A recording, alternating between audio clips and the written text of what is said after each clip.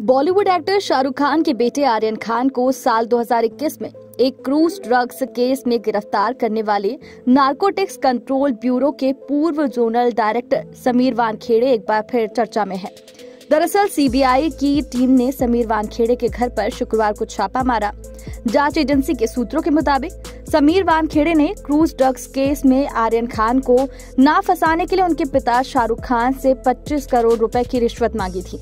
ये भी बताया गया है कि समीर वानखेड़े के एक साथी ने इस मामले में कथित तौर पर 50 लाख रुपए लिए थे। सीबीआई ने समीर वानखेड़े के खिलाफ रिश्वत मांगने के आरोप में एफआईआर दर्ज की है।